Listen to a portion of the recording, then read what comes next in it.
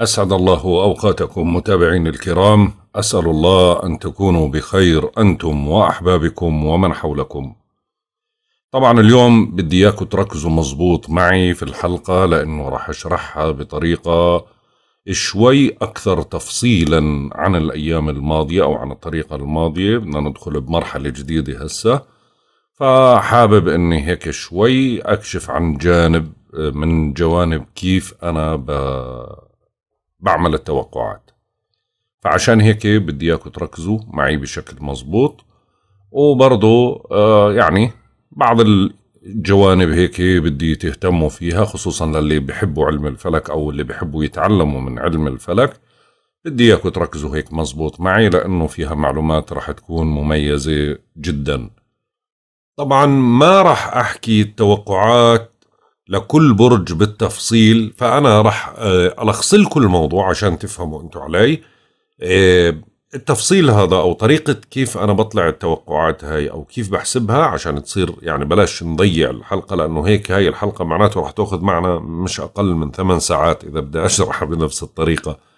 فعشان هيك آه، برج الحمل اللي هو أول برج راح أشرح فيه الطريقة اللي أنا بستخرج فيها لباقي الأبراج. فأنتم من خلالها لما تسمعوا برج الحمل كيف أنا بستخرج خصوصا للمهتمين. اللي مش مهتم يروح يسمع برج ويروح. يعني هاي أمور بدها واحد عنده شغف لعلم الفلك أو بحب علم الفلك أو حاب يتعلم علم الفلك أو يعرف علم الفلك كيف بنحسب هاي التوقعات كيف بيطلعوها كيف بيحكوها البني آدمين هدول اللي بيحكوا في علم الفلك أنا راح أشرحه في برج الحمل. فعشان هيك اللي مهتم يعرف الطريقة يسمع برج الحمل. اللي مش مهتم يسمع برجه. اللي يعني نص نص يسمع برجه ويسمع طالعه. ماشي؟ طبعا اليوم توقعاتنا ليوم الخميس 28 خمسة القمر موجود في الأسد في منزلة الزبرة وهي منزلة للربح والحرية والصلاح والإصلاح. وتأثير القمر دائما لما بيكون موجود في برج الأسد في الفترة هاي دائما بنشعر أنه الناس من حولنا آه، أكثر كرما مما اعتدنا من الناحية المادية والعاطفية. بيكون التركيز حول الاستمتاع والترفيه وتبادل العاطفة مع الحبيب بوسعنا التقرب من المسؤولين ومحاولة الحصول على بعض المطالب العادلة بوسعنا اقتراض المال واستثمار أو الاستثمار أو اقتناء حلية ثمينة والتحلي بالشجاعة وارتداء ملابس أنيقة بتلفت انتباه الآخرين إلنا. بالنسبة للزوايا الفلكية أول زاوية فلكية راح تكون بعد الحلقة هي زاوية تسديس إيجابية راح تكون بين القمر والشمس. راح تكون في تمام الساعة سبعة ودقيقتين مساء. منولي مزيد من الاهتمام لصحتنا ومنتلقى المساندة والدعم من الأصدقاء منتجه لتغليب العقل ومنصبح أكثر قدرة على السيطرة على مشاعرنا. أما الزاوية التي تليها هي زاوية تربيع سلبية بين القمر وأورانوس آه، في تمام الساعة 9 و33 دقيقة مساء تخلق لدينا شعور بالملل من أي عمل روتيني. يفضل أخذ فترة من الراحة لاستعادة نشاطنا من جديد. ممكن يفاجئنا البعض بشيء غير متوقع وممكن يصدر منا ما هو غير متوقع اتجاه البعض كذلك ولكن من ناحية سلبية يعني مفاجآت من ناحية سلبية. أما بالنسبة للزاوية التي تليها وهي آخر زاوية هي زاوية تسديس إيجابية بين القمر والزهرة. راح تكون في تمام الساعة واحدة ونص بعد الظهر. بتتأجج العاطفة تجاه الجنس الآخر وبالتالي بننجح بتعزيز العلاقة معهم وبيعطي دفعة للعاملين في المجال الفني والتجميلي والديكور فبيتحسن عطائهم وإبداعهم. بعد الزاوية هاي مباشرة يعني الساعة واحدة ونص بعد الظهر بيصير خلو المسار. خلو المسار يعني آه إشي سلبي راح يستمر طبعا مدة طويلة. يعني راح يستمر من الساعة واحدة ونص بعد الظهر لغاية آه ثاني يوم اللي هو يوم ثمانية وعشرين آه يوم تسعة وعشرين خمسة اللي هو يوم الجمعة لغاية تقريبا الساعة 11 وتسعة وثلاثين دقيقة بعد الظهر. طبعا المدة هاي والسبب إنه ليش المرة هاي خلو المسار؟ طبعا هذا سؤال أنا سألته. ليش خلو المسار طويل؟ السبب إنه بتنتهي هاي الزاوية اللي هي آخر زاوية إحنا حكيناها اللي هي بين القمر والزهرة اللي الساعة واحد ونص. هاي بتستمر تقريبا لساعات يعني نقول تقريبا بحدود الأربع ساعات بعد أوجها يعني لعند غروب الشمس. ولكن إنه آه، بعدها بصير القمر محترق. يعني محترق يعني ما بيعمل ولا أي زاوية. فبما إنه القمر ما بيعمل أي زاوية وبده ينتقل فبصير هذا اسمه خلو المسار. فآخر زاوية بشكلها هي بداية خلو مسار.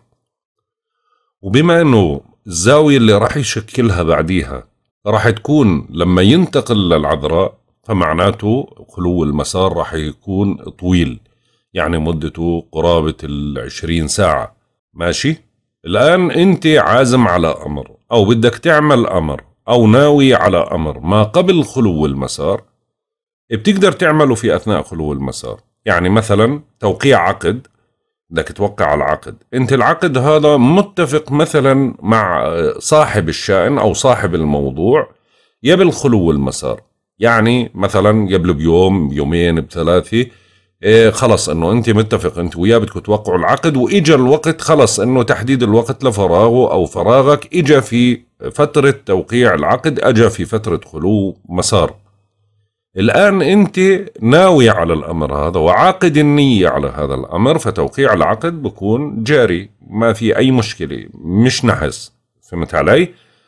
ولكن لو أنا إجيت مثلا قعدت مع الشخص هذا في فترة خلو المسار وقلت له معلش لو سمحت بدي أوقع عقد معك أو بدي أجدد عقد معك لا هنا بنقول إحنا ما بصير توقيع العقد في هذه الفترة لأنه فترة نحسي بقرارك وتوقيعك مع بعض.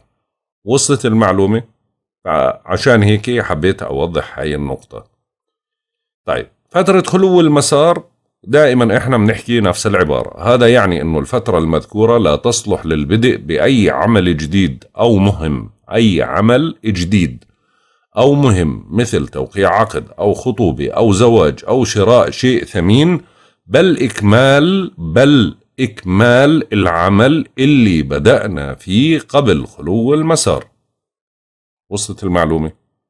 عشان ما نطولش عليكم يعني هذا هو بالنسبة لموضوع خلو المسار.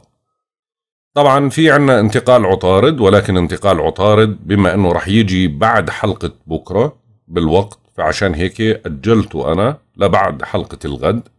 وخصوصا إنه في شرح كثير عليه فعشان هيك أجلناه بالحكي عنه لبعد حلقة الغد إنه هو رح ينتقل آه، لبرج آه، السرطان. أما بالنسبة للقمر بما إنه موجود في الأسد معناته زي ما حكينا خلو المسار يوم 28 راح يستمر لغاية يوم 29 من الساعة واحد ونص للساعة 11 و39 بعد الظهر لينتقل بعدها لبرج العذراء. أما بالنسبة لعمر القمر عمر القمر القمر الهلال ستة أيام في تمام الساعة سبعة ونص صباحا بصير سبع أيام نسبة الإضاءة 25% أما بالنسبة لمزاج الكواكب وطباع الكواكب لهذا اليوم الشمس في الجوزاء حتى 20 ستة المزاج منتحس. القمر في الأسد حتى يوم 29 خمسة المزاج منتحس. آه، عطارد في الجوزاء حتى يوم 28 خمسة المزاج سعيد.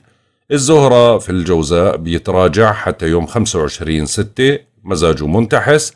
المريخ في الحوت حتى يوم 28 ستة مزاجه سعيد. المشتري في الجدي بيتراجع حتى يوم 12 9 آه، مزاجه منتحس آه، زحل في الدلو بيتراجع حتى يوم 1 7 بعدين بده يرجع من الدلو للجدي بعد 1 7 آه، مزاجه منتحس أورانوس في الثور حتى يوم 15 8 بعدين بده يبدأ عملية التراجع في نفس برج الثور مزاجه سعيد نبتون في الحوت بيتراجع حتى يعني يوم 23 6 مزاجه سعيد.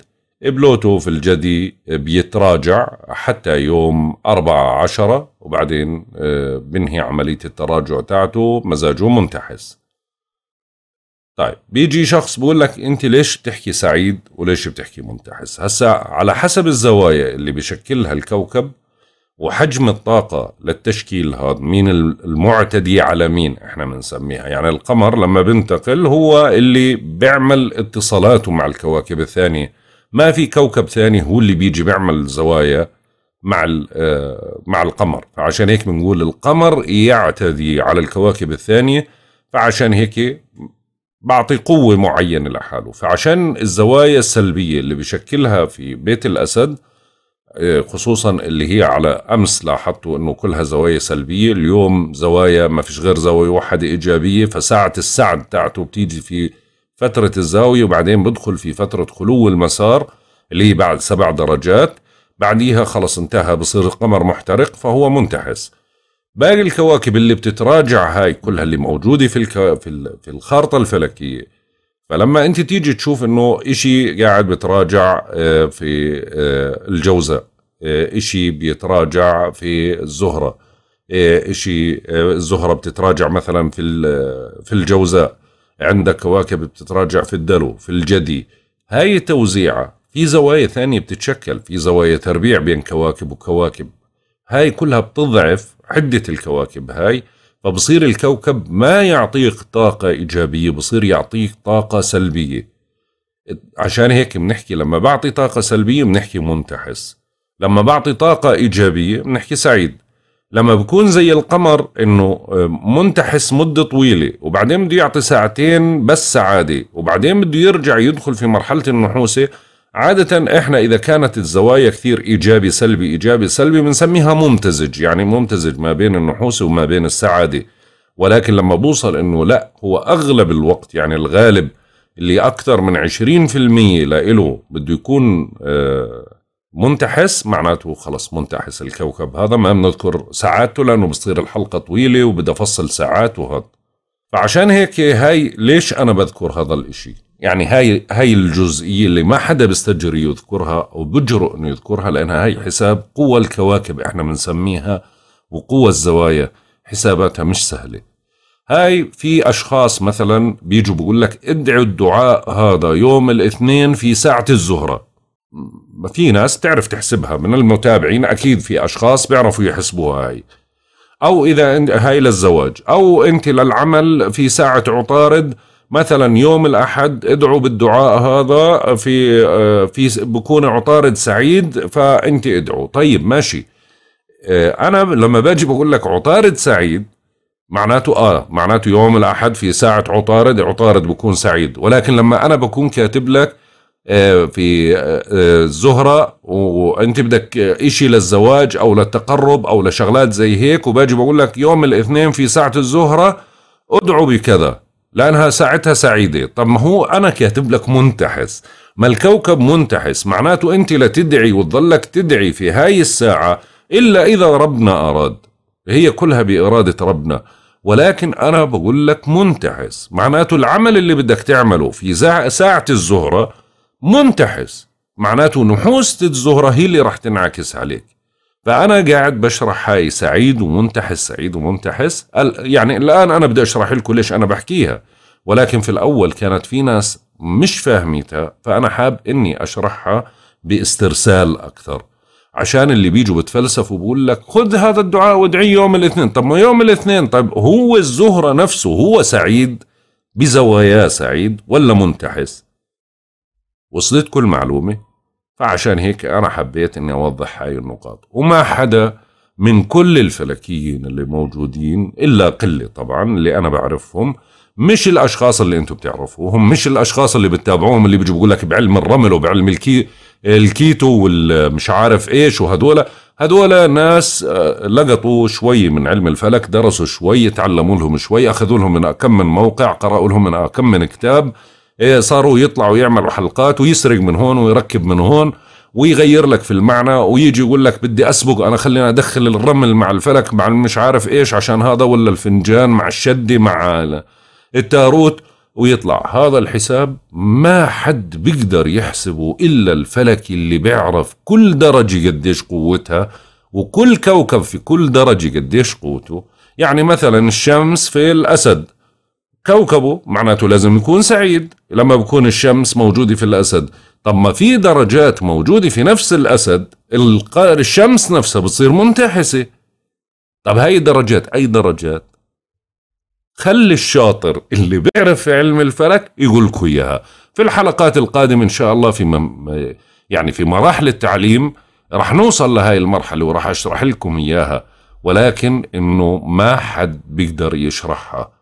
إلا اللي بيعرف حسابات درجات وقوى الكواكب وطاقاتها عشان يعرف تأثيراتها. وصلت كل معلومة مش تكبرا أو غرورا. قاعد بحكي هذا الحكي. أنا بحكي هذا الحكي عشان أريحكم ما تسمعوا لأشخاص ما إلهم علاقة في علم الفلك. بدكم تتابعوهم تابعوهم ولكن ما تأخذوا في كلامهم. كثير بسمع أنا قاعد أسئلة يعني هم بيعملوها وبيحاولوا ينكشوا فيها على أساس إنه أنت تتابعه على أساس إنه أنت تروح تسأل واحد بيفهم هو بيقدرش يشرح لك اياها يعني معلش بدي أسألكم سؤال. في شخص أكيد هسه كثير منكم راح يقول إحنا سمعناها إنه بقول لك إنه الشمس الآن في مرحلة الاقتراب للأرض. سمعتوها هاي؟ أكيد لأنه انسألت هذا السؤال على الصفحه والتعليق موجود ما زال موجود من صديقة موجودة على القناة. مش إني أنا بسخر منها أو إنه أنا آه، اخذت موضوعها بسخرية لا الموضوع ماشي. أه وين هذا؟ بأي كيف قاسها يعني؟ كيف عرف يعني؟ آه، معاه كليبر يعني متر هيك قاس بين الشمس والأرض وعرف إنها قاعدة بتقرب على الأرض ولا شاف قطر الشمس ولا على أي حساب من أي موقع من أي من أي وكالة من أي قمر صناعي حسب الموضوع هذا. هذا كلياته اللي بنحكى كلام مغلوط ما في منه صحة نهائيا. اللي انحرافات اللي بتصير هي انحرافات للكرة الأرضية ما إلها علاقة بالشمس. الشمس ثابتة في مكانها والقمر ثابت في مكانه بيتحركوا بدورتهم. كل الكواكب بتتحرك في دورتها اللي ربنا أنشأها عليها بأمر من الله. الكرة الأرضية نفسها هي اللي بتتمايل على مرة يمين ومرة يسار. موسم بتكون على اليمين فبتبعد عن الشمس شوي فبصير عندنا شتاء. فلما تلف على الجهة الثانية وتقرب على الشمس درجة إيه، بصير عندنا إحنا الصيف. اللي هي هاي بنسميها الشتاء والصيف. طول النهار وقصر النهار. اللي هي هاي بتعتمد على مدار الأرض ومحور الأرض وقصتها هيك فإنه قربت شو بتقرب؟ ما هي فعليا هسه إحنا دورنا باتجاه الشمس لأنه إحنا بداية الصيف معناته يعني راح يجي الصيف علينا معناته إحنا اللي بنقرب قاعدين على الشمس مش الشمس اللي بتقرب علينا. بس تصحيحا للمعلومة. حلقتنا اليوم طويلة. يعني بدكم تسمعوا معلومات اليوم غير شكل. وصلنا للتوقعات اليومية. برج الحمل. طبعا القمر موجود في البيت الخامس ولكن وجوده في البيت الخامس لهذا اليوم محترق. يعني حكينا إنه هو مش رح يعمل زوايا إيجابية فهو سلبي. معناته اللي رح نتوقعه إحنا من وجوده في الأسد شيء فيه نوع من أنواع السلبية. ماشي؟ ما بقدر أعطيك إيجابية في الموضوع هذا لأنه هو موجود في الأسد اللي عامل زوايا سلبية. بمقابلة جاي فيها بده يجي مع زحل بده يجي مع المشتري بده يجي مع الكواكب كلها. هاي اللي موجودة وين؟ موجودة في الجدي وموجودة في الدلو. طيب عشان هيك شو بنحكي؟ بنحكي بتشتد رغبتكم في التقرب من أحبائكم وقضاء وقت ممتع معهم. لأنه هو تأثيراته بوجوده في المكان هذا هذا التأثير اللي راح يعطيه على الغالب. فترة مثمرة إيجابية. ماشي؟ لكن إيش اللي بنحكي؟ إنه هاي الفترة بتحمل بعض المشاحنات العاطفية أو سوء التفاهم العاطفي أو قلق عاطفي أو إشي ممكن يستفزك من أحد الأحبة. تصرف آه، موقف آه، أحد الأبناء ويعتبروا الأحبة. ماشي؟ فهنا هذا تفسير البيت الخامس اللي هو الموجود في القمر. طيب نيجي هسا على البيت الثاني أو البيت الأول بيت الشخصية. بيت الشخصية اللي هو برج الحمل نفسه اسمه بيت الشخصية البيت الأول. طيب في البيت الأول هذا في عندنا القمر الأسود.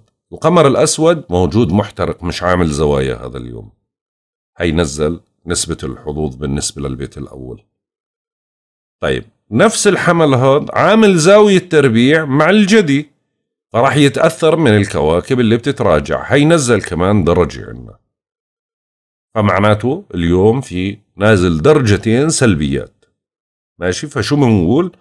بنقول إنه هذا اليوم بما إنه قطع لبعد المنتصف بنقول هذا اليوم هو روتيني بالأغلب على حسب طبيعتك بتكون لأنه القمر المحترق اللي هو القمر المحترق والقمر الأسود مش عاملات زوايا فبنقول روتيني.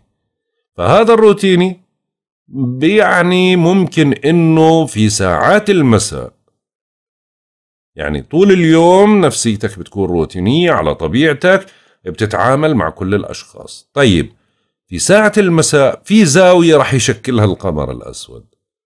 بس الزاوية هاي رح تكون سلبية. فعشان هيك شو منقول؟ نرجع للدرجتين اللي حكينا عنهم في البداية. بنقول إنه الدرجتين هدول بيسبب لك نوع من أنواع العصبية أو الحدية في ساعات المساء.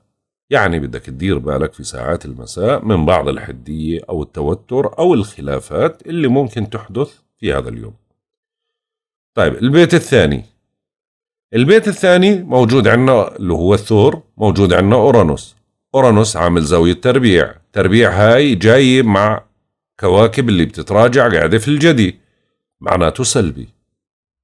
طيب البيت الثاني هذا بيت المال. بما إنه في سلبية وأورانوس مفاجآت فشو بيجيب؟ بيجيب دائما مصاريف زيادة بشكل مفاجئ متطلبات مالية بشكل مفاجئ أفكار بصرف المصاري بتيجي بشكل مفاجئ بتيجي عندك فكرة بدك تعملها اليوم ولكن هاي بتكلف مصاري ممكن ما إلها داعي فبنقول لك دير بالك من المصاريف الزيادة وما تحاول إنك تبذخ زيادة في المصاريف. عامل برضو أورانوس نفسه عامل زاوية تربيع جاي مع المريخ. هاي من إيش بتيجي؟ يا إما تحصيل ديون يا إما للأشخاص اللي بيشتغلوا في مجالات التسويق. ماشي؟ هي البيت الثاني. طيب وصلنا للبيت الثالث. البيت الثالث عندنا الجوزاء طيب الجوزاء هذا عامل زوايا. يعني عامل زوايا في عندنا الزهرة عنده بتتراجع عندنا الشمس عامل زاوية تربيع مع المريخ وعامل مع نبتون عندنا عطارد نفسه قاعد بينتقل من عنده. طيب البيت الثالث هذا بيت الاتصالات من المفروض إنه أنا أحسب إنه تسديس مع برج الحمل معناته إيجابية. لا في عندي أنا أشياء بتضعف أكثر. فعشان هيك بنقول اليوم عندك تنقلات لأنه الزهرة نفسها عاملة حكينا في بدايه التوقعات عاملة تسديس. فهاي بتعمل لك نوع من انواع الإيجابية والحظوظ العاطفية من خلال التواصل. فممكن اليوم تكثر عندك التنقلات أمور التسويق ممكن تكون مقنع في وجهات نظرك ولكن بيغلب عليك اللي هي أمور التهور من المريخ زاوية التربيع. فعشان هيك ممكن يتعرض لبعض الحوادث أو لبعض الإصابات خلال هذا اليوم. طيب زاوية التسديس إيش بتفيدني؟ بتفيدني في مجال الإقناع في مجال الامتحانات ولكن الزوايا الأكثر تربيع فعشان هيك بقول لك إيش؟ بقول لك دير بالك إذا عندك امتحان بدك تركز بشكل جيد على أساس أنه ممكن يصير في مفاجآت خلال هذا اليوم. هاي خلصنا البيت الثاني. البيت البيت الثالث. خلينا نروح على البيت الرابع. طيب البيت الرابع الآن بنتقل عليه قاعد عطارد. وفي نفس اللحظة البيت الرابع هذا عامل هو نفسه تربيع مع الحمل.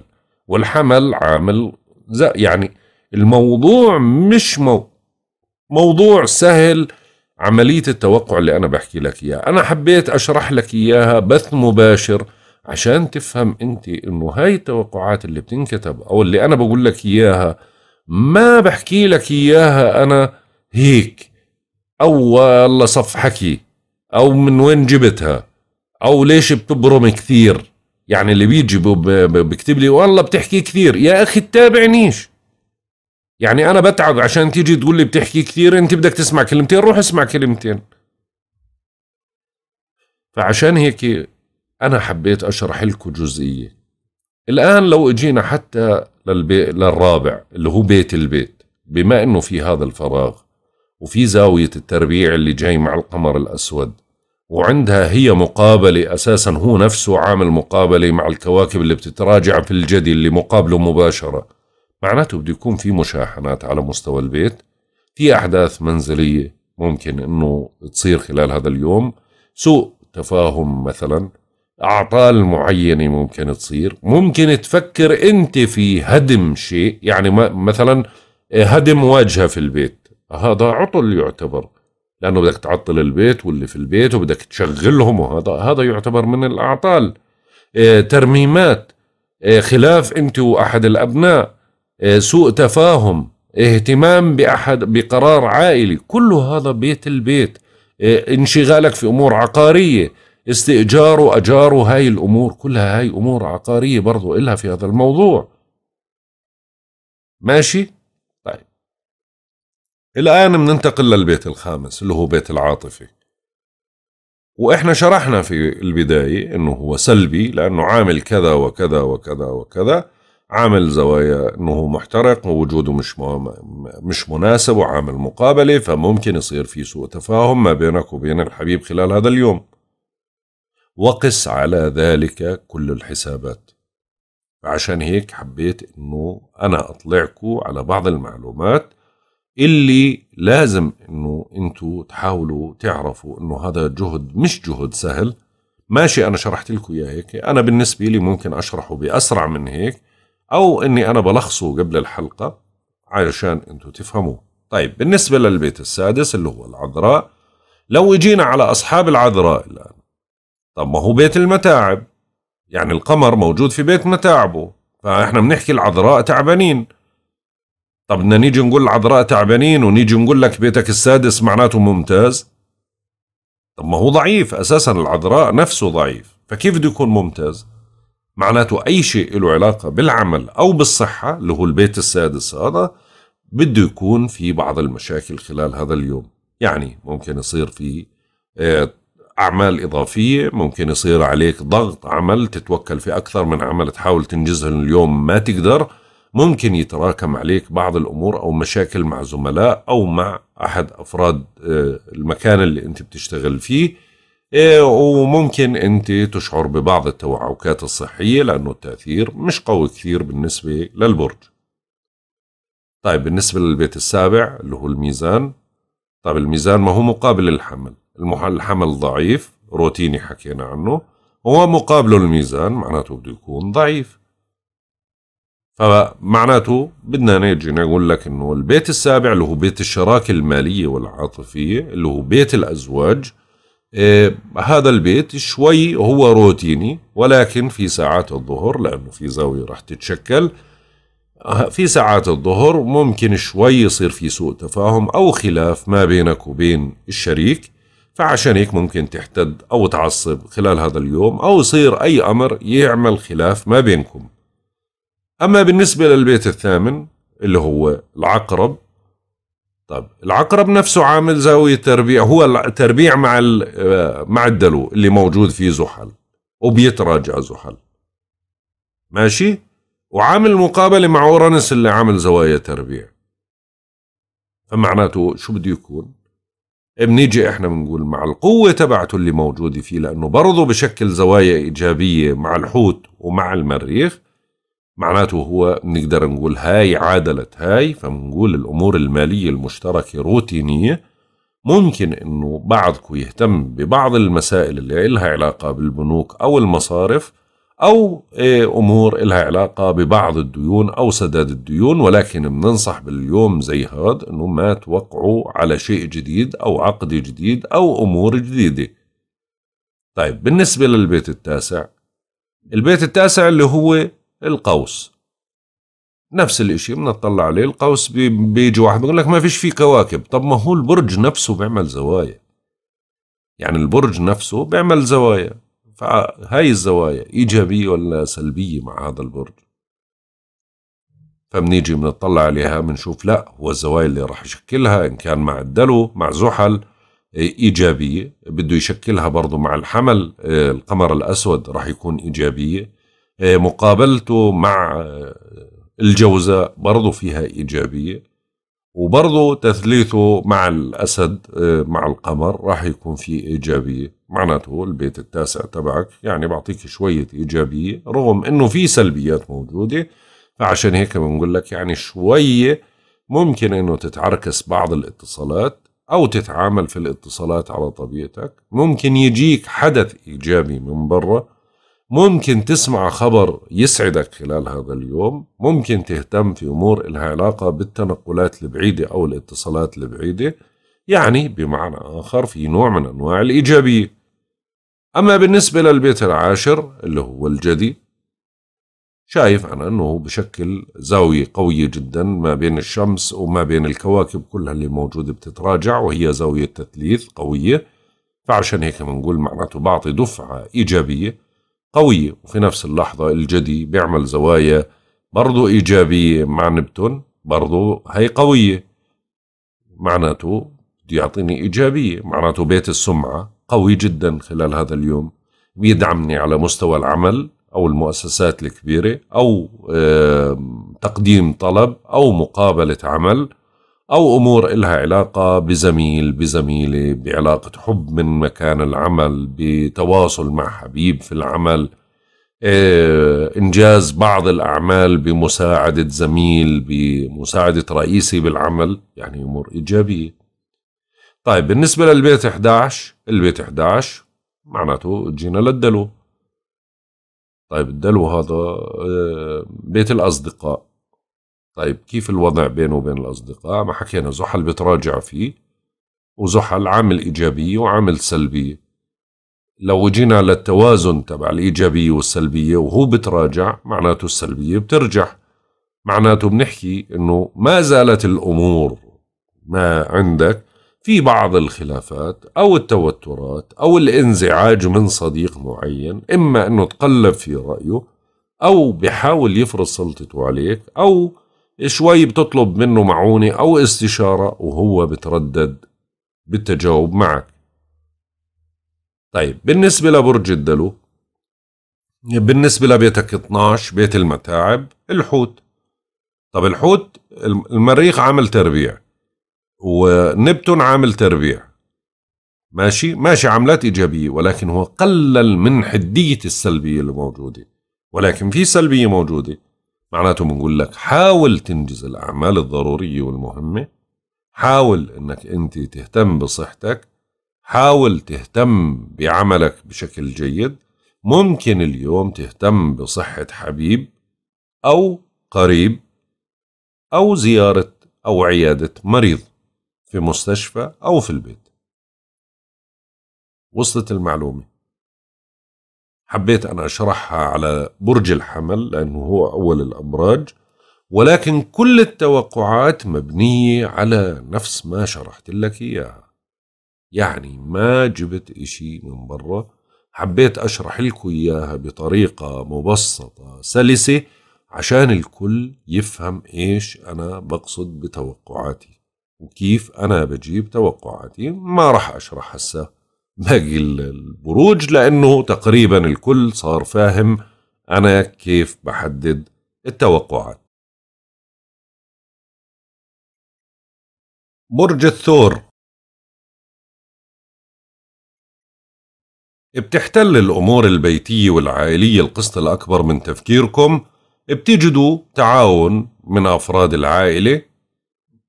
ممكن تلمس توتر على الصعيد الشخصي أو العائلي شوي ممكن هيك يكون في آه، أمور لها علاقة بعملية جراحية بمستشفى بشخص في مستشفى. آه، ممكن اليوم إنك تستشير طبيب ان دعت الحاجة. وإذا صار في سوء تفاهم أو خلاف خلال هذا اليوم مع أي فرد من أفراد العائلة يعني حاول إنك تضبط أعصابك.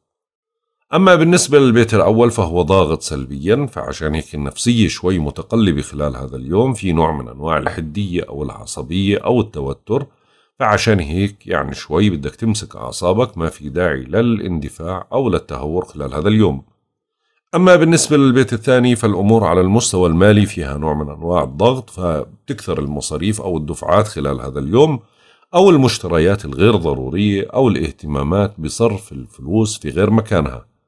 أما بالنسبة للبيت الثالث فأنا شايف الأمور على مستوى التنقلات برضو فيها نوع من أنواع الحدية فعشان هيك بدك تدير بالك أثناء التنقلات وأثناء النقاشات من العصبية وردات الفعل العصبية. طبعا هذا آخر يوم بتعاني من الضغوطات هاي اللي إحنا حكيناها الثلاثة. فعشان هيك يعني شوي بدك تدير بالك خلال هذا اليوم اللي عنده امتحان بده يركز ويدرس بشكل جيد. أما بالنسبة للبيت الرابع فكما ذكرنا في بداية التوقعات بالنسبة للبيت الخامس فأنا شايف الأمور تقريبا يعني فيها نوع من أنواع الإيجابية على المستوى العاطفي ومستوى الحظوظ بس ما تعتمد على الحظوظ كثير. يعني العاطفي ممكن تعمل تقارب أو مصالحة ما بينك وبين الحبيب خلال هذا اليوم وممكن يعني يكون في لقاء أو تعاطف على مسألة معينة. أما بالنسبة للبيت السابع ف أشطب. أما بالنسبة للبيت السادس فأنا شايف الأمور يعني فيها نوع من أنواع الضغط على المستوى الصحي أو على مستوى الأعمال. فاللي عنده عمل اليوم ما راح يقدر ينجز كل الأعمال راح يكون عنده ضغط كثير أو مسؤوليات كثير أو يعني توترات على مستوى العمل. أما بالنسبة للوضع الصحي فممكن يحمل بعض التقلبات الصحية بدك تدير بالك. أما بالنسبة للبيت السابع فأنا شايف الأمور يعني على مستوى بيت الشراكي يعني تقريبا روتينية ولكن في ساعات الظهيرة ممكن تحمل لك هيك نوع من أنواع الخلاف ما بينك وبين شريك المال أو ما بينك وبين الزوج أو الزوجة.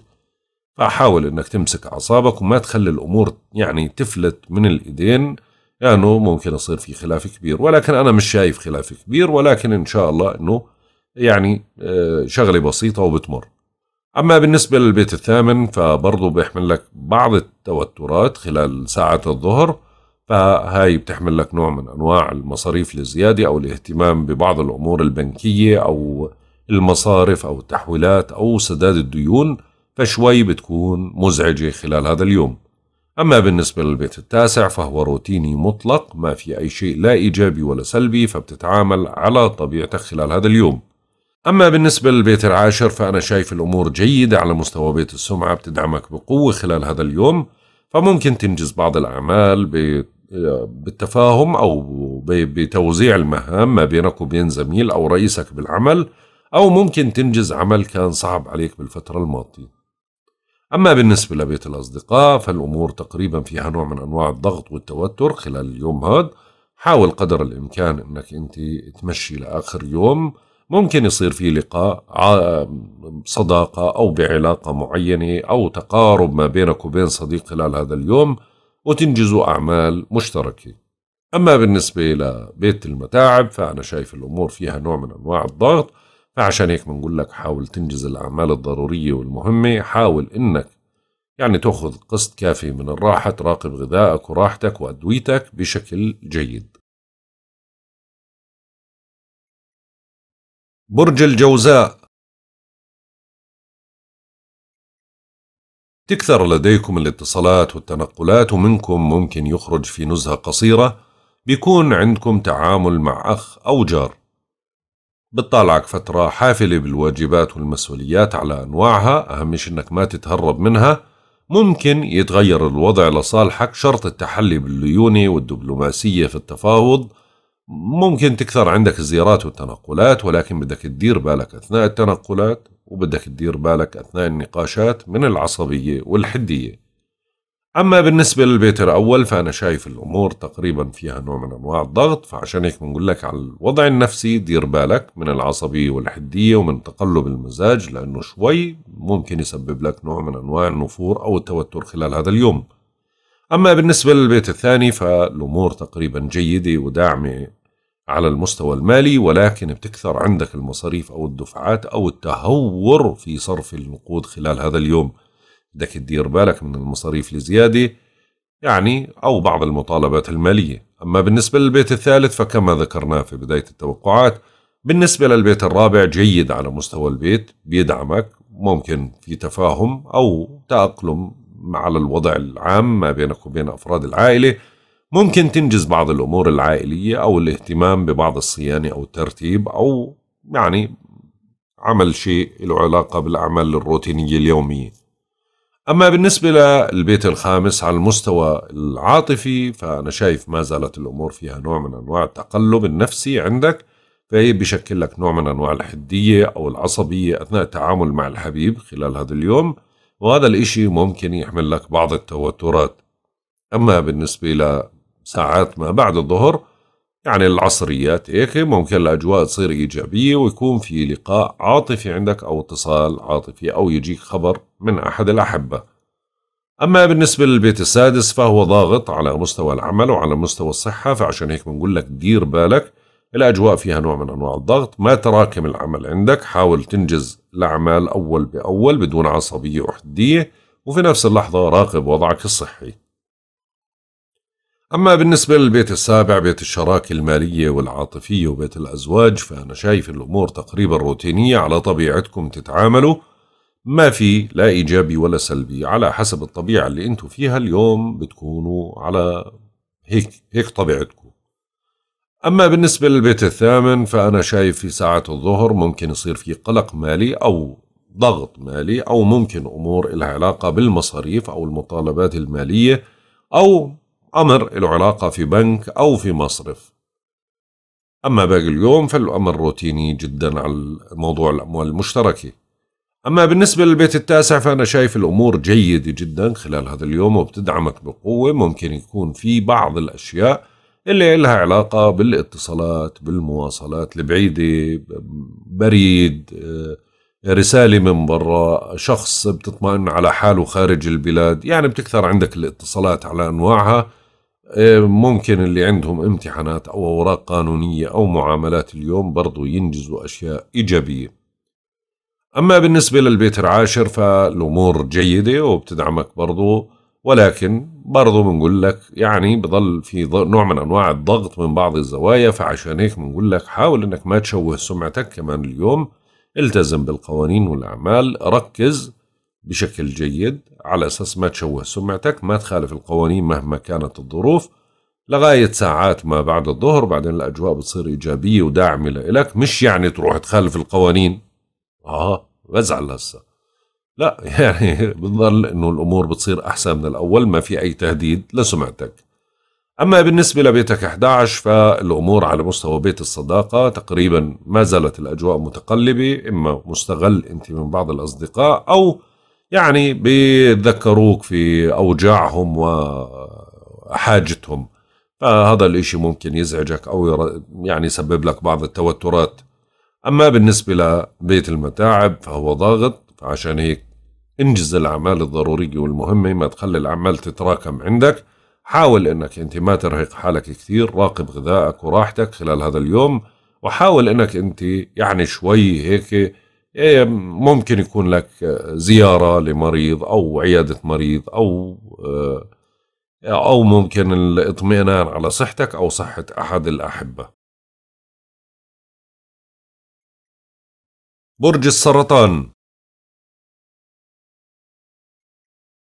تم فرصة لمكسب مالي من عمل إضافي مع هيك احذروا من أي خطوة مالية جديدة لا سيما شراء حاجية ثمينة.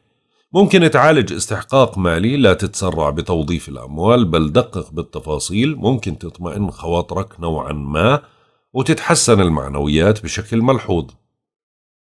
أما بالنسبة للبيت الأول فأنا شايف الأمور يعني تقريبا متقلبة على العامل النفسي بين إيجابي سلبي إيجابي سلبي طول اليوم. فعشان هيك بدك تدير بالك من بعض التوترات أو الاستفزازات أو التراخي في إنجاز بعض الأعمال. أما بالنسبة للبيت الثاني فكما ذكرنا في بداية التوقعات ولكن في نقطة يعني ما ذكرتها أنا أنه دير بالك آه، من المصاريف الزياده أما بالنسبة للبيت الثالث فالأمور ضاغطة شوي بسيطة عليك على مستوى التنقلات والاتصالات. إيه، في نوع من أنواع الحدية أو الاضطراب في آه، في ردات فعلك. حاول تركز بشكل جيد بدون عصبية ولا حدية بتنجز بعض الأعمال والأمور بشكل جيد إذا ركزت. أما بالنسبة للبيت الرابع فأنا شايف على مستوى البيت لآخر يوم في نوع من أنواع الضغط الكبير فبعدها الأمور بتبلش تخف شوي شوي ولكن إنه إجمالا هذا اليوم بدك برضو تدير بالك من بعض الأعطال أو الخلافات أو سوء التفاهم على مستوى البيت أو مع أحد أفراد البيت. أو مشتريات أو التزامات زيادة أما بالنسبة للبيت الخامس على المستوى العاطفي تقريبا الأجواء جيدة بتدعمك بقوة خلال هذا اليوم فممكن يصير في تقارب أو اتصال أو تواصل ما بينك وبين الحبيب أو الاهتمام بمسألة بتتعلق بالحبيب. أما بالنسبة للبيت السادس فالأمور على مستوى العمل والصحة تقريبا متقلبة خلال هذا اليوم فعشان هيك بنقول لك الأغلب أنه حاول أنك تنجز الأعمال الضرورية والمهمة ما تخلي الأعمال تتراكم عليك وبرضه في المقابل اهتم لصحتك بشكل جيد. أما بالنسبة للبيت السابع فالجو قوي جدا ما بينك وبين شركاء المال والعاطفة يعني والأزواج. فاليوم ممكن تتراجع عن قرار سابق وممكن يصير في مصالحة ما بينكم أو تقارب في وجهات النظر. ممكن حل خلاف معين ممكن أنه يعني تنجزوا عمل مشترك. أما بالنسبة للبيت الثامن فشايف الأمور برضو فيها نوع من أنواع الإيجابية بتدعمك فممكن تنجز بعض الأعمال اللي لها علاقة بدين أو قرض أو آه، أمور بنكية أو ضريبة أو أشياء لها علاقة بتأمين آه، مستردات كلها هاي يعني إيجابية بالنسبة لك.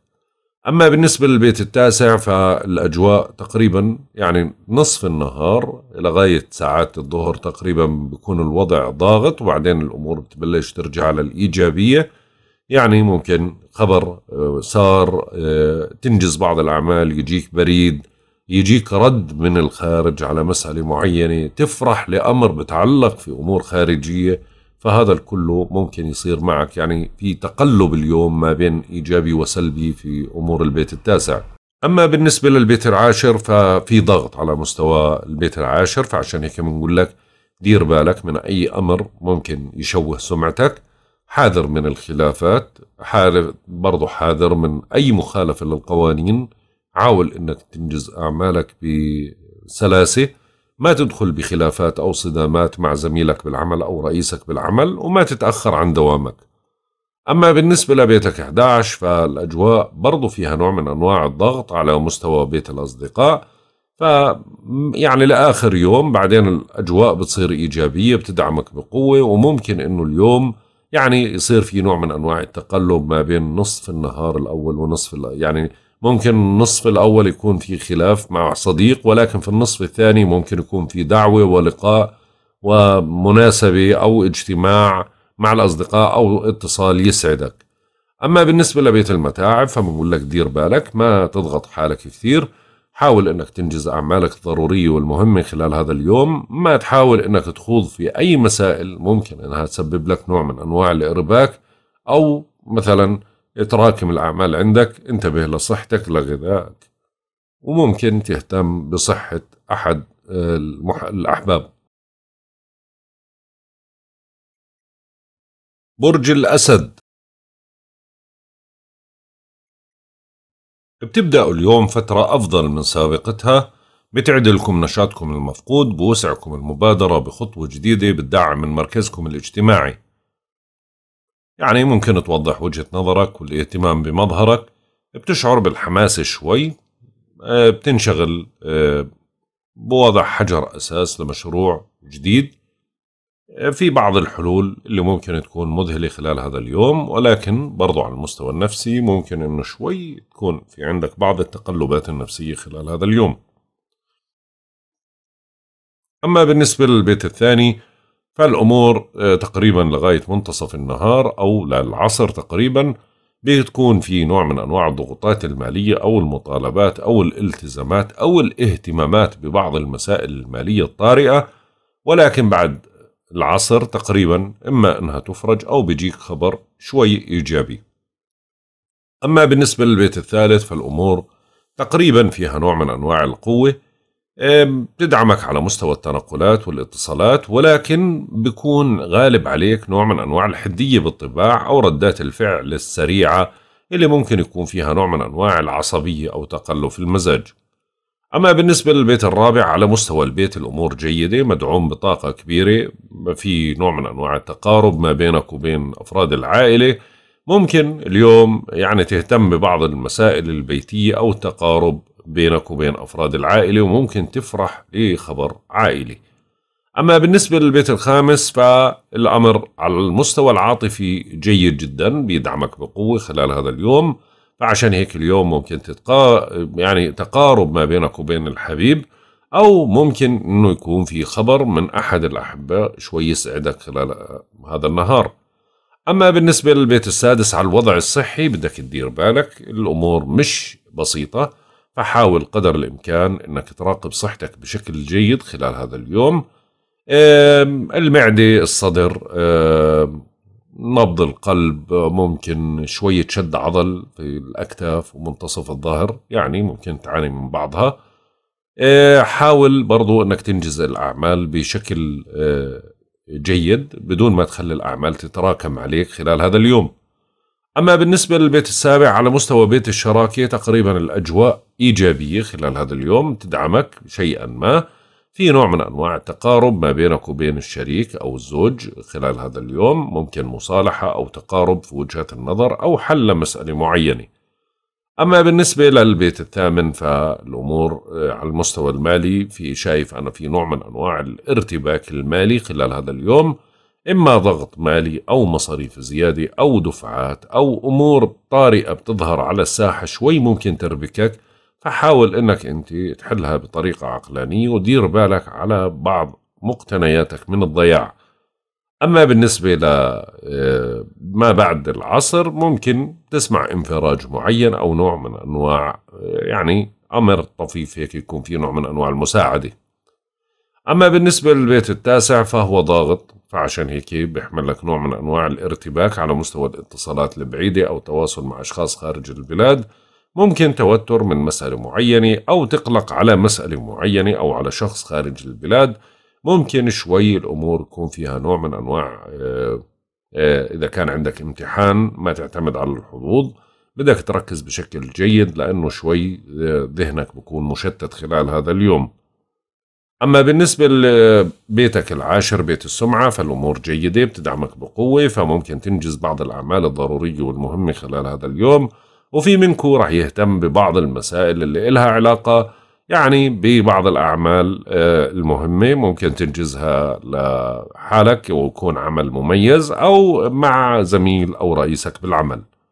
أما بالنسبة لبيت الأصدقاء فلآخر يوم بيحمل نوع من أنواع الضغط والتوتر. يمكن لاحظت أنه بلش في نوع من أنواع التوافق ما بينك وبين بعض الأصدقاء خلال الأيام الماضية ولكن اليوم يعني تقريبا الأجواء بتصير أفضل خصوصا مع اقتراب ساعات الظهر. ممكن دعوة للقاء أو لاجتماع بالأيام القادمة أو اتصال مفاجئ من صديق.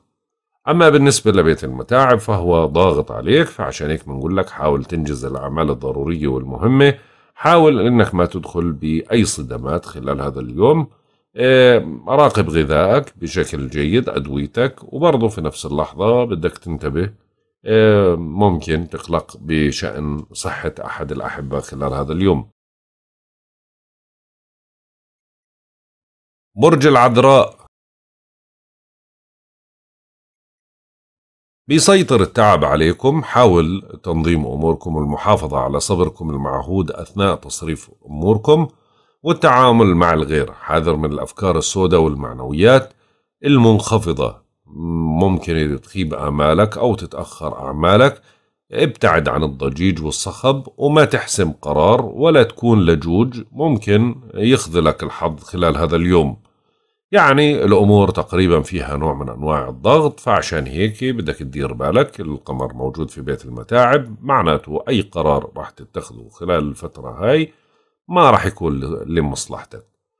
أما بالنسبة للبيت الأول بما أنه البيت المتاعب ضاغط معناته بيتك الأول بده يعمل لك نوع من أنواع التقلب النفسي أو بعض الاضطراب أو بعض العصبية أو تقلب في المزاج أو الحدية في الطباع بشكل متقلب أو ما تقدر تنجز بعض الأعمال الموكلة لك أما بالنسبة للبيت الثاني فأنا شايف على المستوى المالي برضه في نوع من أنواع الضغط والارتباك فعشان هيك بتزيد المصاريف أو الاهتمامات المالية اللي بكون فيها شيء صعب ممكن تتفاجأ من ردة فعل معينة أو ممكن أنه تنخذل على المستوى المالي من دعم أو من شخص بيحاول أنه يعني آه، كنت مركن عليه بشيء ولكن ما زبطت الأمور معك. أما بالنسبة للبيت الثالث برضو في نوع من أنواع العصبية في الطباع والحدية هاي بتعمل لك نوع من أنواع التقلب والاضطراب خلال هذا اليوم. حاول أنك تركز بشكل جيد على أساس أنه ما تكبر الفجوة وما تختلق المشاكل. ما تنتقد وما توجه انتقادات لاذعة للناس اللي بتعرفهم. أثناء القيادة برضو بدك تنتبه بشكل جيد. يعني الأجواء شوي فيها نوع من أنواع الصعوبة. أما بالنسبة للبيت الرابع على مستوى البيت تقريبا الأجواء نحكي مقبولة شيئا ما. في نوع من أنواع التقارب. في وجهات النظر أو تقارب عائلي ممكن الاهتمام ببعض المسائل البيتية أو العقارية أو الترميمات تصليحات مشتريات أشياء من هذا القبيل. أما بالنسبة للبيت الخامس فالأمور على المستوى العاطفي جيد. يعني بتدعمك عاطفيا. تقارب ما بينك وبين الحبيب ممكن اتصالات أو تواصل أو مساعدته في مسألة معينة أو يساعدك هو في مسألة معينة. ممكن تهتم بأحد الأحبة خلال هذا اليوم. أما بالنسبة للبيت السادس فالأمور ضاغطة على المستوى العمل وعلى المستوى الصحي فعشان هيك بنقول لك بدك تدير بالك من إنجاز آه، الأعمال ما تحاول تخلي الأعمال هاي تتراكم عندك خلال هذا اليوم وبرضه في نفس اللحظة راقب وضعك الصحي ما تخلي الأمور شوي تضغط عليك خلال هذا اليوم وتتراكم الأعمال عندك. أما بالنسبة للبيت السابع على مستوى بيت الشراكة برضو ضاغط شراكة مالية عاطفية بسبب لك نوع من أنواع الإرباك. فممكن اليوم يصير في مشكلة أو خلاف ما بين الأزواج أو شركاء المال. أما بالنسبة للبيت الثامن فالأمور برضو ضاغطة على مستوى الأمور الأموال المشتركة وهذا بسبب لك نوع من أنواع الإرباك. لكن أي خطوة في هاي الفترة على مستوى الأموال المشتركة راح تكون مش لصالحك. فعشان هيك حاول تهدي أعصابك شوي إيه، تعامل في أمور البنوك والقروض والالتزامات بطريقة عقلانية يعني ما تحاول إنك أنت تأخذها بس إنه يعني بدون ما تكون جاهز لها أو تكون الجراءات أو المعاملة كلها مكتملة. أما بالنسبة للبيت التاسع فبرضه نفس الشيء الأمر روتيني ما في أي شيء لا إيجابي ولا سلبي فعشان هيك الأمور على مستوى الاتصالات البعيدة أو المواصلات أو الأمور القضائية أو أو أو إلى ما لا نهاية مما يتعلق في البيت التاسع. كلها هاي بتكون روتينية على طبيعتك تتعامل. ولكن في منتصف النهار ممكن تسمع خبر شوي مش جيد أو يزعجك. أما بالنسبة لبيت السمعة فبرضه ضاغط فعشان هيك بنقول لك ما تخالف القوانين ما تعمل أعمال مشبوهة ما تدخل في أي شيء ممكن يسبب لك تشويه لسمعتك إيه ما تتأخر عن عملك ما تدخل بخلافات أو صدمات مع زميل في العمل أو رئيسك بالعمل إيه حاول تنجز كل أعمالك بوقتها. أما بالنسبة لبيت الأصدقاء فلآخر يوم في نوع من أنواع الضغط إيه على بيت الأصدقاء والمعارف ممكن تتفاجأ لإلغاء آه، مناسبة معينة أو تأجيلها أو لقاء أو ممكن أنه يصير في ردة فعل سلبية بتعاملك ما بينك وبين صديق معين. أما بالنسبة لبيتك بيت المتاعب فبنقول لك دير بالك يعني الأجواء ضاغطة عليك فعشان هيك انجز الأعمال الضرورية والمهمة خلال هذا اليوم. ما تحاول إنك أنت تكبر الأمور الزيادة. إيه، حاول إنك شوي هيك تهتم بصحتك بغذائك برضو ما تنجرفش وراء أشياء ممكن إنها تسبب لك نوع من أنواع الإرباك خلال هذا اليوم. برج الميزان. بتنشطوا اجتماعيا وبتلتقوا الأصدقاء منكم ممكن يتلقى دعوة لحضور حفلة أو مناسبة سعيدة. بتكون تنقلاتك مهمة وبتتمتع بسرعة الخاطر. بتحدد توجهاتك الفكرية والاجتماعية حتى السياسية. تعرف لقاء آه، يعني يكون داعم شوي خلال هذا اليوم. ما تماطل بل تشجع على العمل الاجتماعي. أما بالنسبة للبيت الأول فأنا شايف الأمور تقريبا نقدر نحكي إنها روتينية ما في أي شيء لا إيجابي ولا سلبي خلال هذا اليوم. أما بالنسبة للبيت الثاني فتقريبا يعني ضغط مالي أو مصاريف أو التزامات أو قلق مالي بصير عندك حاول أنك تدير بالك على بعض مقتنياتك من الضياع أو السرقة وما توقع على أمور تجارية أو عقود بدون ما تدرسها بشكل جيد. أما بالنسبة للبيت الثالث فالأمور يعني برضو على مستوى الاتصالات والمواصلات والتنقلات فيها نوع من أنواع الحدية فمزاجك شوي عصبي أو في نوع من الحدية أو الغضب عندك بسبب لك نوع من أنواع التوتر خلال هذا اليوم. اللي عنده امتحان بده يركز بشكل جيد ما يعتمد على الحظوظ نهائيا. وبرضه في نفس اللحظة أثناء القيادة بدك تدير بالك. أما بالنسبة للبيت الرابع على مستوى البيت الأمور جيدة يعني بتدعمك بقوة خلال هذا اليوم وهذا بيعمل لك نوع من أنواع التقارب. ما بينك وبين أفراد العائلة وممكن يكون في خبر عائلي جيد بيسعدك أو ممكن يحدث أي خبر على مستوى البيت يكون في آه، نوع من أنواع الانبساط أو السعادة. أما بالنسبة للبيت الخامس على المستوى العاطفي شايف الأمور فيها ضغط فعشان هيك أنت متوتر عاطفيا أو بقلقك شأن عاطفي أو أحد الأحبة أو أحد الأبناء. يعني ممكن شوي تنزعج على مسألة معينة أو تهتم في هاي المسألة بشكل يعني يكون حساس شوي. أما في ساعات المساء يعني ممكن الأجواء تصير ألطف على المستوى العاطفي أو يصلك خبر إيجابي. أما بالنسبة للبيت السادس فالأجواء ما زالت فيها نوع من أنواع الضغط على العمل فعشان هيك ممكن يتراكم عندك بعض الأعمال خلال هذا اليوم وممكن تهتم بمسألة صحية. أما بالنسبة للبيت السابع فأنا شايف على مستوى بيت الشراكة المالية والعاطفية يعني شوي في روتيني ولكن في ساعة الظهيرة ممكن هيك تعصب من مسألة معينة أو تحتد أو خلاف ما بينك وبين الشركاء شركاء المال أو العاطفي يعني الأزواج. أما بالنسبة للبيت الثامن برضو روتيني ولكن في ساعة الظهر ممكن تظهر بعض المسائل المالية أو الاضطراب المالي أو اهتمام بدفعات أو التزامات أو أشياء ممكن إنها ما تتحقق خلال هذا اليوم فتنزعج منها. أما بالنسبة للبيت التاسع فتقريبا الأجواء فيها نوع من أنواع السلبية. ممكن آه، يعني بعض الأمور تتعطل آه، تنتظر أنت رسالة برضو ما توصلك خلال هذا اليوم. ممكن في ساعات المساء توصلك ولكن أنه بتظلك قلق طول اليوم على هاي المسائل اللي هي اتصالات مواصلات بعيدة اهتمام في أشخاص خارج البلاد أشياء من هذا القبيل كلها أوراق قانونية أو معاملات كلها هاي ممكن أنه يكون فيها بعض المماطلة خلال هذا اليوم. أما بالنسبة للبيت العاشر فهو جيد على مستوى بيت السمعة وبدعمك بقوة فممكن اليوم تنجز بعض الأعمال الضرورية والمهمة وممكن اليوم تنجز عمل كان صعب إنك تنجزه بالفترة الماضية وممكن تهتم ببعض المسائل اللي إلها علاقة يعني في أشياء تتعلق في آه، زملائك في العمل أو رئيسك بالعمل.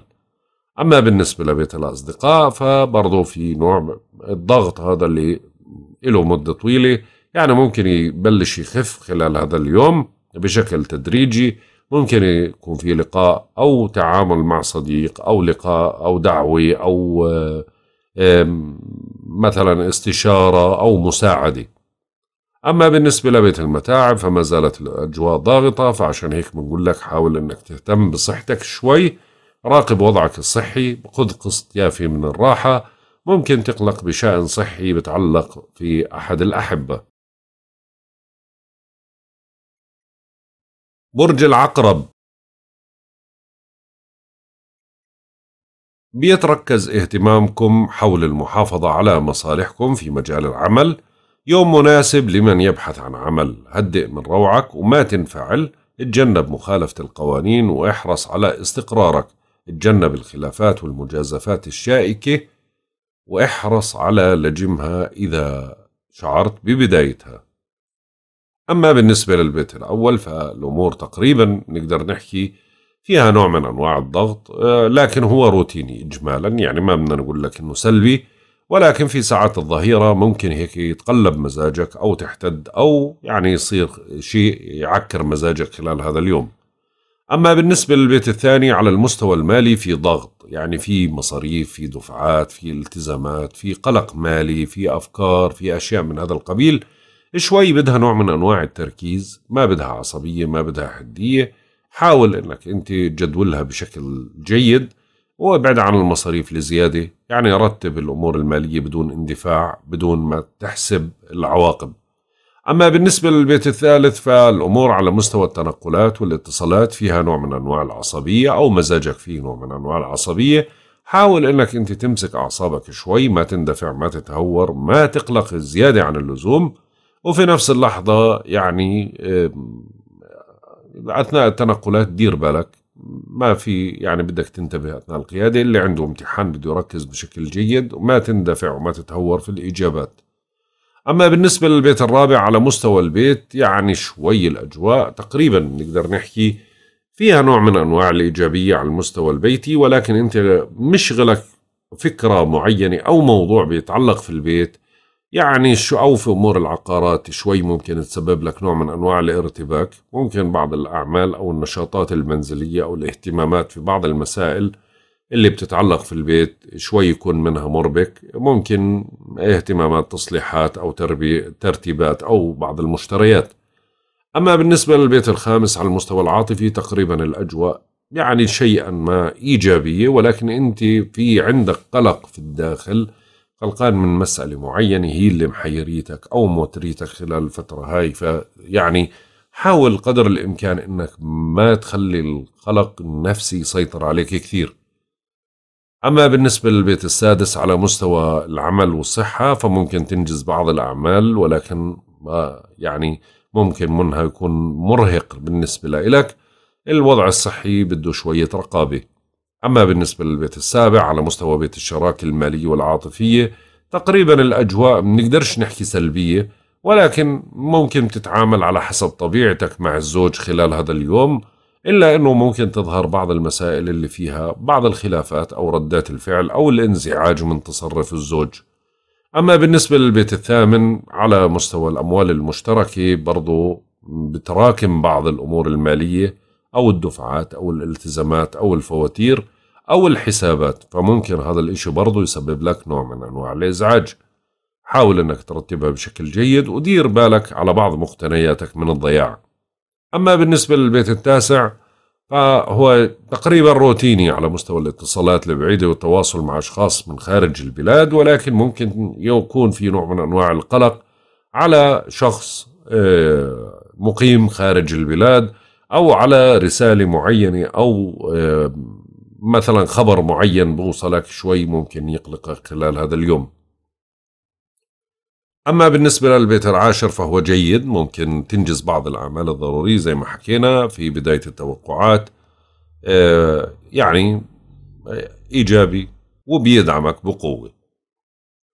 أما بالنسبة لبيت الأصدقاء فتقريبا الأجواء إيجابية فممكن اليوم يكون في لقاء أو دعوة أو آه، اجتماع أو تواصل مع صديق معين يعني شوي هيك الأمور تصير إيجابية أو تقارب في وجهات النظر أو عزومة للأيام القادمة لحضور حفلة أو مناسبة.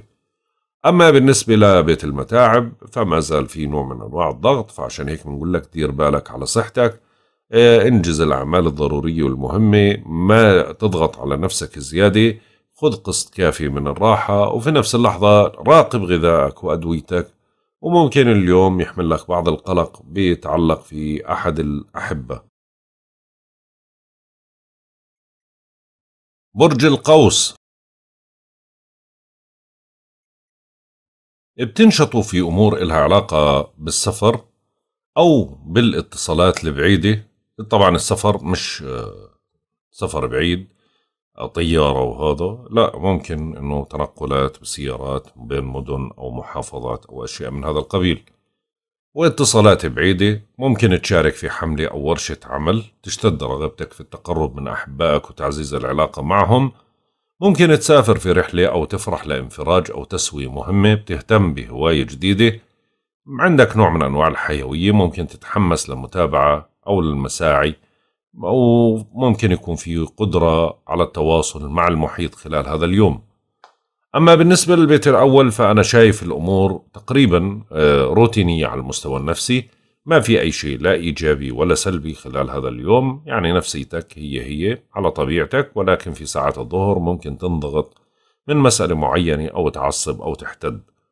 أما بالنسبة للبيت الثاني فالأمور تقريبا فيها نوع من أنواع الضغط والتوتر على المستوى المالي أو القلق المالي أو ممكن يعني بعض الالتزامات الطارئة تظهر أو المصاريف للزيادة خلال هذا اليوم. ممكن في ساعات العصر يعني تلوح فرصة لمكسب مالي أو آه، بعض الهبات أو المساعدات. أما بالنسبة للبيت الثالث فعلى مستوى التنقلات والعصبية والحدية في الطباع هذه موجودة عندك. فشوي بتكثر عندك اليوم التنقلات ولكن بعصبية ممكن اليوم تتوتر تعصب تحتد. إيه، ممكن تناقش بصعوبة كمان أو بحدية طباع. مزاجك مش رايق حتى للنقاش. يعني اللي عنده امتحان على المستوى المدرسي بده يركز بشكل جيد. اللي إيه، مثلا ممكن يصير في تعامل ما بينك وبين أخ أو جار ولكن دير بالك من الحدية. أما بالنسبة للبيت الرابع على مستوى البيت في بعض الأمور البيتية أو العقارية بتقلقك خلال هذا اليوم أو مسألة عائلية أو ممكن توتر من مسألة معينة أو حدث مثلا منزلي شوي يسبب لك نوع من أنواع الإرباك أو الارتباك. شوي بدك تركز بشكل جيد ممكن بعض الأعطال صيانة مشتريات التزامات أو قلق على أحد أفراد العائلة. أما بالنسبة للبيت الخامس فالأمور جيدة بتدعمك عاطفيا تعمل لك نوع من أنواع الحظوظ بتدعمك خلال هذا اليوم. ممكن تقارب في مسائل أو في شيء معين ممكن مساعدة ما بينك وبين الحبيب خلال هذا اليوم أو عاطفتك تكون جياشة أكثر. أما بالنسبة للبيت السادس فالأمور متقلبة على مستوى العمل. فممكن صعوبة على إنجاز بعض الأعمال أو تتراكم عندك بعض الأعمال خلال هذا اليوم أو الأعمال تكون كثيرة. وفي منكو راح يكون في عنده يعني بده يراقب صحته بشكل جيد. أما بالنسبة للبيت السابع على مستوى الشراكة المالية والعاطفية أو العلاقة ما بين الأزواج يعني بتحمل نوع من أنواع التوتر أو الحدية خلال هذا اليوم وهذا بسبب نوع من أنواع الإرباك. مشكلة أو خلاف أو سوء تفاهم ممكن يحدث في بشكل طارئ. أما بالنسبة للبيت الثامن فهو برضو ضاغط بقوة خلال هذا اليوم وبسبب نوع من أنواع الإرباك إما التزامات أو دفعات أو بعض الأمور اللي إلها علاقة بتعطيلات أو تتعطل بعض المسائل المالية اللي إلها علاقة بضريبة أو تأمين أو أو بنوك أو أشياء من هذا القبيل. ودير بالك على بعض مقتنياتك من الضياع. أما بالنسبة للبيت التاسع الأمور مثل ما ذكرناها في بداية التوقعات. أما بالنسبة لبيتك العاشر بيت السمعة يعني مش ضاغط كثير ولكن برضو بنقول لك دير بالك يعني ما توقع على عقود تجارية خلال هذا اليوم. حاول تدرسها بشكل جيد وفي نفس اللحظة راقب آه، حديتك آه، أثناء العمل. ما تجازف ما تخالف القوانين. يعني بدك تكون آه، يعني حذر أما بالنسبة لبيت الأصدقاء فتقريبا لغاية ساعات الصباح الأمور فيها نوع من أنواع الضغط والتوتر ولكن بعد ساعات الصباح الأجواء بتصير إيجابية بتدعمك على مستوى العلاقات والأصدقاء وممكن يتوجه لك دعوة أو حضور حفلة أو مناسبة أو لقاء مع بعض الأصدقاء. أما بالنسبة لبيت المتاعب فبنقول لك انجز الأعمال الضرورية والمهمة حاول تأخذ قسط كافي من الراحة انتبه لغذائك لراحتك خلال هذا اليوم. ممكن تقلق بشأن صديق أو حبيب خلال هذا اليوم. برج الجدي. بتعيدوا تنظيم أموركم المالية المشتركة من جهة ثم فرصة لمكسب من شراكة أو تعويض. ولكن من جهة أخرى يجب الحذر من أي شراكة مالية جديدة ممكن تناقش موضوع تمويل أو قرض أو ممكن تحصل على تسوية ما كنت تحلم فيها بالفترة الماضية. بتناقش مواضيع مهمة وممكن تجتاز امتحان صعب خلال هذا اليوم عالج الشؤون العائلية المهمة. أما بالنسبة للبيت الأول فالأمور جيدة على المستوى النفسي فهذا بيعمل لك نوع من أنواع التقارب. أو حلول لبعض المسائل يعني نفسيا أنت اليوم أفضل من الفترة الماضية. أما بالنسبة للبيت الثاني يعني ما زالت الأمور المالية مقلقة بالنسبة لك بالتزاماتها أو ضغطها أو بعض مصاريفها أو بعض المستجدات المالية اللي ممكن تسبب لك نوع من أنواع الإرباك ولكن من ساعات العصر تقريبا بتبلش الأمور تنحل أو بظهر بصيص أمل لمسألة معينة ممكن أنك تحلها بشكل جيد. أما بالنسبة للبيت الثالث فبرضو العصبية مسيطرة عليك فعشان هيك بنقول لك دير بالك حافظ على نفسيتك بشكل جيد ما في داعي للعصبية ولا للحدية ما في داعي للتوتر يعني الأمور تنحل أثناء تنقلاتك بدك تنتبه وبرضو أثناء نقاشاتك بدك تركز بشكل جيد بدون عصبية. أما بالنسبة للبيت الرابع ما زال موضوع البيت ولكن أقل من الأيام الماضية ولكنه متقلب خلال اليوم ما بين سلبي وروتيني؟ سلبي وروتيني طول اليوم فعشان هيك ممكن تظهر بعض المسائل البيتية اللي تربكك أو العائلية أو بعض المستجدات اللي تسبب لك نوع من أنواع التوتر. حاول أنك تنجزها بشكل جيد بدون عصبية وبدون حدية.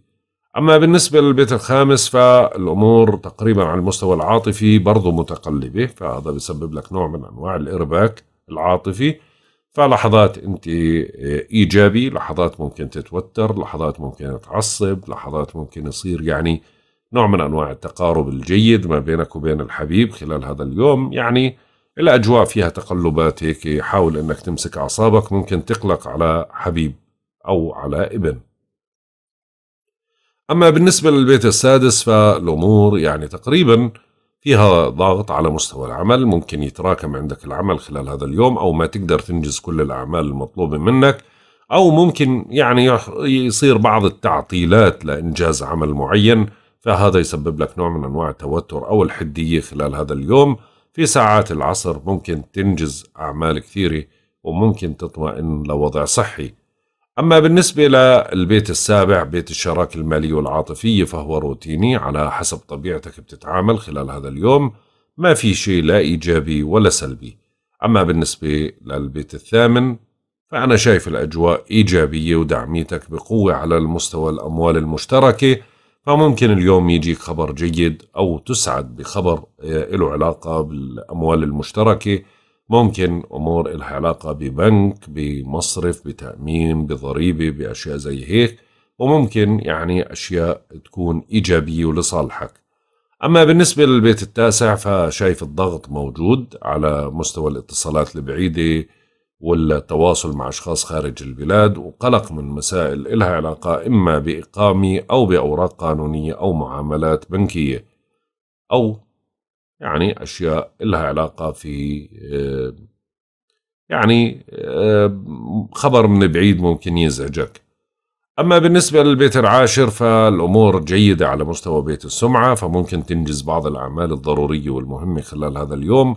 وفي منكم رح يكون له تعامل مع آه، زميل أو رئيسه بالعمل بشكل جيد. أما بالنسبة لبيت الأصدقاء فلغاية ساعات الظهر بتكون الأجواء ضاغطة ولكن بعد ساعات الظهر بتصير إيجابية تحمل لك إما لقاء أو مقابلة أو مساعدة أو دعم من صديق معين. أما بالنسبة لبيت المتاعب فهو ضاغط فعشان هيك بنقول لك انجز بعض الأعمال الضرورية والمهمة خلال هذا اليوم وحاول إنك تهتم بصحتك شوي خذ قسط كافي من الراحة ما ترهق حالك كثير.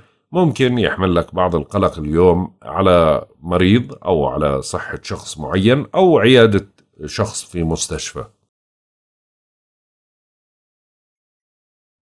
برج الدلو.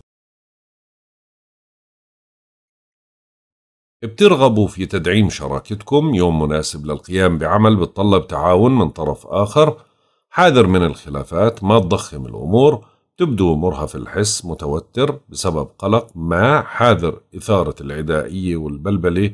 مزاجك متقلب خلال هذا اليوم. في نوع من أنواع العصبية. ممكن تثير النفور آه، للأشخاص آه، اللي حواليك. أما بالنسبة للبيت الأول فأنا شايف الأجواء تقريبا آه، فيها نوع من أنواع الحدية على المستوى النفسي.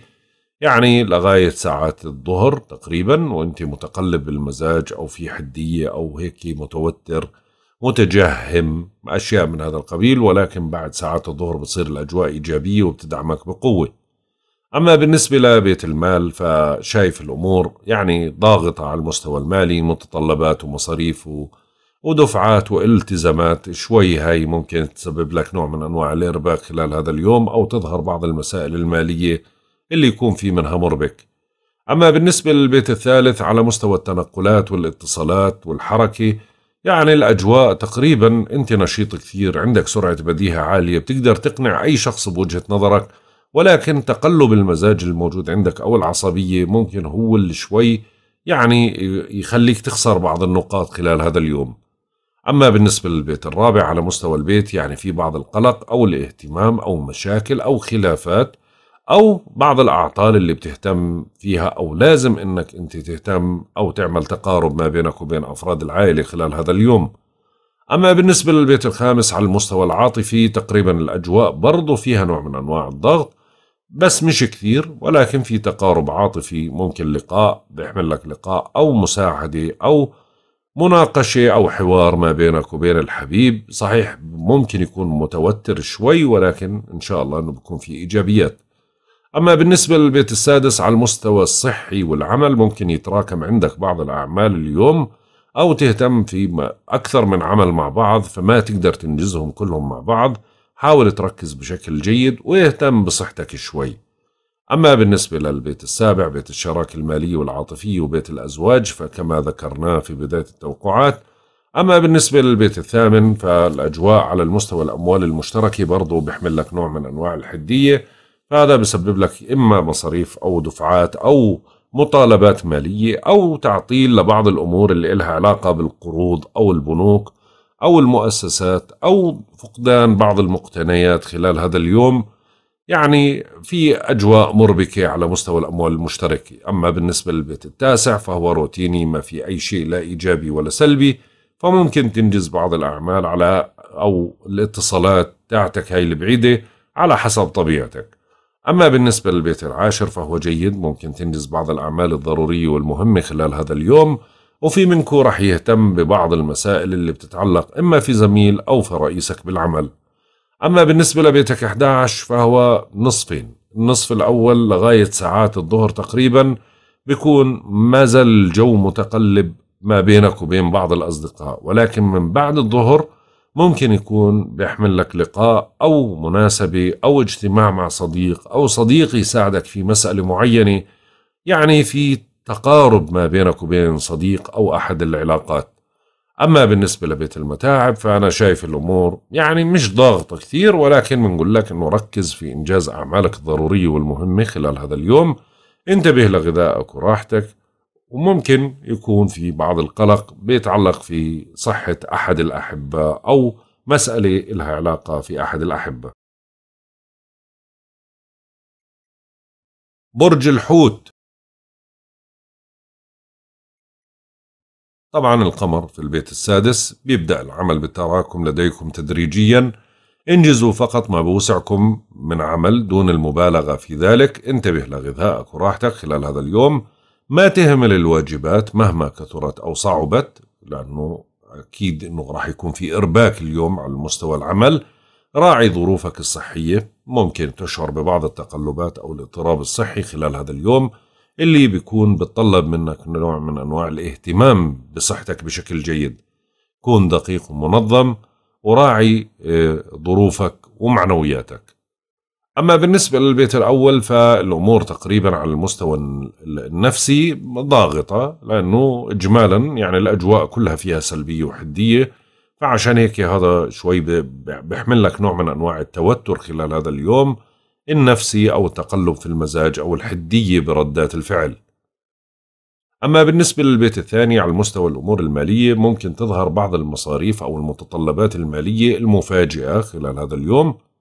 أو بعض الالتزامات الطارئة يعني أو مصاريف ممكن تكون ما في داعي لها أما بالنسبة للبيت الثالث فهو جيد على مستوى الاتصالات والمواصلات والنقاشات والتنقلات والنقاشات يعني تقريبا إجمالا بيكون فيها نوع من أنواع الإيجابية ولكن الشرط الأساسي عشان توصل لهي المرحلة بدك تتجنب العصبية والتهور وتوجيه اللوم لبعض الأشخاص. أما بالنسبة للبيت الرابع فالأمور على مستوى البيت يعني تقريبا فيها نوع من أنواع الإيجابية أو التقارب بينك وبين أفراد العائلة. ممكن تنجز بعض الأعمال الضرورية والمهمة المنزلية. ممكن تظهر بعض الأعطال البيتية تهتم فيها بشكل مكثف. وممكن حدث عائلي شوي هيك يربكك خلال هذا اليوم. أما بالنسبة للبيت الخامس على المستوى العاطفي تقريبا الأجواء ضاغطة مش إيجابية. بتسبب لك نوع من أنواع آه، ردات الفعل السلبية أو التحسس آه، أو القلق على الحبيب أو خلاف معين آه، سوء تفاهم شغلات من هذا القبيل.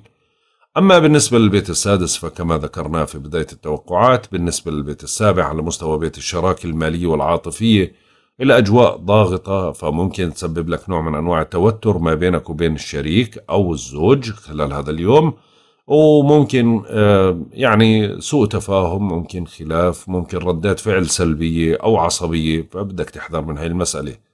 أما بالنسبة للبيت الثامن يعني على المستوى الأمور المالية ممكن تحدث بعض الفروق خلال هذا اليوم بأمور لها علاقة بالبنوك أو المؤسسات الحكومية زي ضريبة أو تأمين أو أمور لها علاقة بمستردات مالية ولكن بدك تحذر من فقدان مقتنياتك أو من آه، أنك تقرض أشخاص بالمال خلال هذا اليوم. أما بالنسبة لبيتك التاسع فالأجواء على مستوى الاتصالات البعيدة تقريبا روتينية بتتواصل أنت مع الأشخاص خارج البلاد بشكل طبيعي وروتيني. ممكن يحمل لك بعض القلق اليوم ممكن من رسالة أو على شخص خارج البلاد أو على مسألة لها علاقة بالتنقلات دير بالك يعني أثناء التنقلات. على الشوارع المفتوحة. أما بالنسبة للبيت العاشر فالأمور جيدة على مستوى بيت السمعة فممكن تنجز بعض الأعمال الضرورية والمهمة خلال هذا اليوم. وفي منكم رح ينجز أعمال بشكل مكثف يعني خلال هذا اليوم لكن بده ينتبه إنه ما يحمل أكثر من بطيخة في إيد واحدة. يعني يركز انجز عمل عمل أفضل. وفي منكم راح يكون له تعامل مع زميل بالعمل أو رئيس بالعمل بشكل إيجابي. أما بالنسبة لبيت الأصدقاء لغاية ساعات الصباح الأمور كما ذكرنا في الأيام الماضية فيها نوع من أنواع الحدية ولكن من ساعات الصباح ممكن يحمل لك لقاء أو مقابلة أو معرفة أو تواصل مع صديق آه، علاقة معينة هيك يدعمك في مسألة معينة في عمل معين أو إنجاز أمر معين فبكون الجو إيجابي.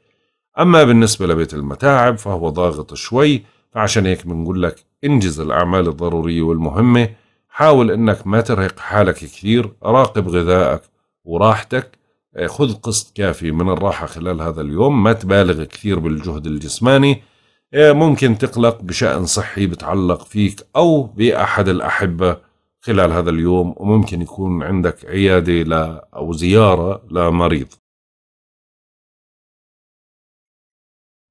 هيك بنكون انتهينا من توقعاتنا لهذا اليوم. والله أعلم. يا رضا الله ورضا الوالدين سبحانك اللهم وبحمدك أشهد أن لا إله إلا أنت أستغفرك وأتوب إليك. أترككم في رعاية الله وحفظه. إلى اللقاء.